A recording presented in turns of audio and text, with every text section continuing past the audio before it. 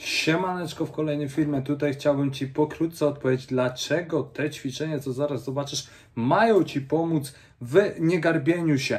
A mianowicie dlatego, że często przy garbieniu mamy protrakcję barku w przód, czyli zbyt napięte struktury mięśniowe z przodu, tak? Przedni akton, mięsień piersiowy, a zbyt słabe z tyłu, bo plecy się rozciągają. Więc automatycznie powinieneś rozluźnić te oto struktury, a spiąć te z tyłu, żeby nie było zaburzenia balansu strukturalnego między e, agonistą a antagonistą. Sorry.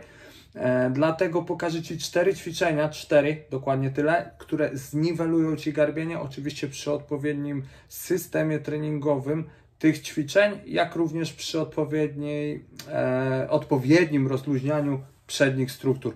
Zobacz, zastosuj i przestań się garbić.